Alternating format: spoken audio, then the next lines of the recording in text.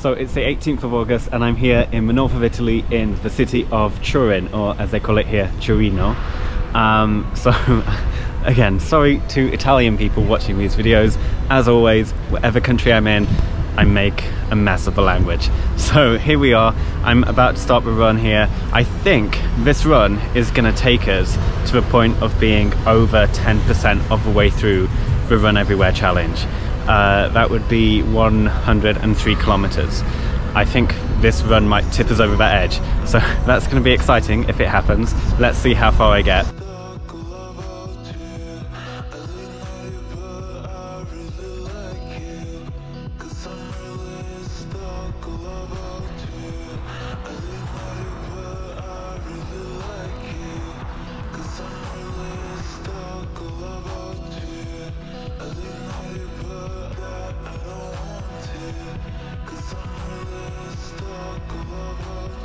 So here we are at the River Po that runs through Turin. And yeah, it's been a bit of a complicated week. Um, yesterday was supposed to be the day that a video would be published on this channel. It was Wednesday. Um, and no video got published. Uh, because it's been so hectic. I've had so much going on. Uh, it's just thing after thing this past week. Uh, nothing, nothing particularly bad or anything don't worry, first world problems. Um, but yeah, just causing a bit of a delay in the filming, running videos game. So that's why there's no video coming out yesterday. This one will come out next Wednesday. Um, so yeah. One of the things that's gone wrong in the past week is Will was supposed to be on this trip with me. We had it all booked together it's Will's birthday this week. We're supposed to be coming out here to Turin to celebrate his birthday, have a great time together. Um, the UK Home Office had other ideas. They didn't process his indefinite leave to remain in the UK in time. And when you have an application pending, you can't leave the country. So he's trapped in the UK at the moment. That's why he's not out here with me in Turin, which is really sad because this was supposed to be a trip we were doing together. He insisted that I come uh, by myself because tickets are non-refundable at this point, too late notice. Um, so we didn't want all the money we paid to go to waste. But it's sad that I have to be here by myself. Not as fun, not as enjoyable. Although it is a beautiful view here over a river in the evening in Turin. It's been a really cloudy day, but there's a few bits of blue sky coming out now this evening.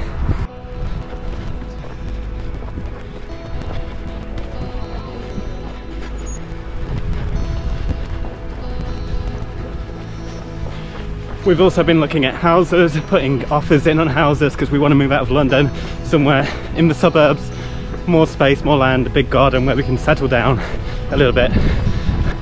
And about a week ago, we decided spontaneously to buy a car because somebody we knew was selling one. It's a really old one, it's a really small one, but neither of us have ever owned a car before. I don't even know how to drive, so I'm gonna have to learn in the week that we've had the car, we haven't actually driven it once. And it's weird because I keep forgetting that we have a car. I keep randomly remembering, oh yeah, we have a car now. Uh, we haven't used it. We're probably not to use it much in London because London isn't really great for cars. We have good public transport. Uh, it's more, if we move out to the suburbs, we might need it a bit more. Going on holidays, day trips, that kind of thing. Probably not going to use it very much. But it's good to have it around for those few and far between instances.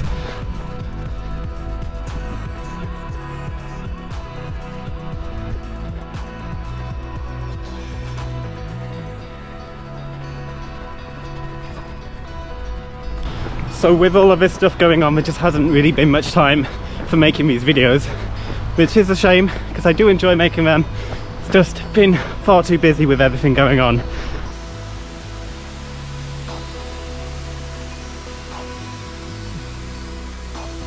Just ran past that really cool fountain. Usually on these videos, I would do a bit of research before coming out. I'd plan a route, look at the landmarks along the way, learn some facts about them, but I just haven't had the effort to do that this time. Um, so this is just very impromptu going out here. I didn't even really plan a route, don't really know where I'm going. just out having some fun exploring, finding new things. I didn't know that fountain existed and I found it through running, which is fun. This is kind of a whole purpose of this uh, challenge originally was to go out there and find things through running. Um, so I guess kind of getting back to that core idea of what I'm doing.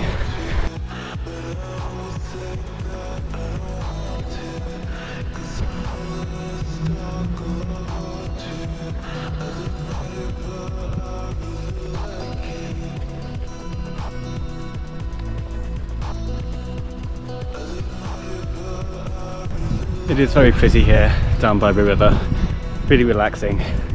So originally I was thinking about running down here along the river, then curving back, running through the city centre. But I actually think I'm not going to do that because streets are really crowded, it's really busy, I'll be running into people, be stressful.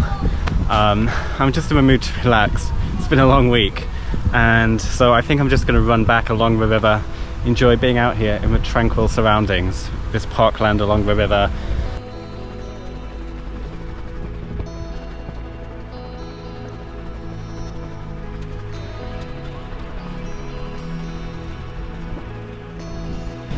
There's a lot of other runners out here along the river today.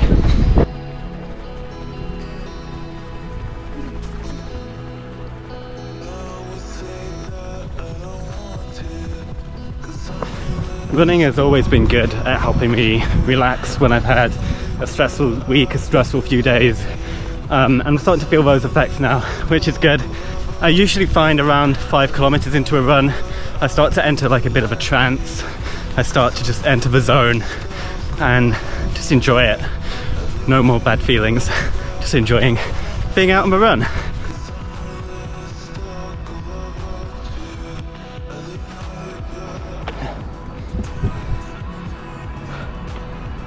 So, a little over seven kilometers completed today, which is good by itself, but more importantly, it means we've hit two big milestones.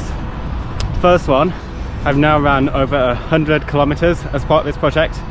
The second one, I've ran over 103 kilometers as part of this project, which is the 10% mark. 10% of the 1,030 kilometer total. If you remember back to the first episode of the series, I explained where the total came from. 1,030 kilometers is the distance from my home in London to Nice in the south of France. And I thought it'd be really cool to say that I've ran the equivalent distance of running from my home to the south of France to the Mediterranean Sea. Um, it's a bit random, but it's something that I thought was a really cool target to work towards for this series. 10% of the way there. I don't know how long it's going to take me. It might take me several years to get there. That's fine. There's no rush. Um, just enjoying it. Enjoying exploring new places. Using running as a way to get around, Probably doesn't show up well on camera, but this view behind me is pretty amazing into the hills. Here in Turin, we're actually not too far away from the Alps. I actually took a train into the Alps earlier today, did a bit of a hike while I was there. But now I'm gonna walk back to my hotel and relax. I think I've earned it today. So, gonna do that. I'll see you in the next video.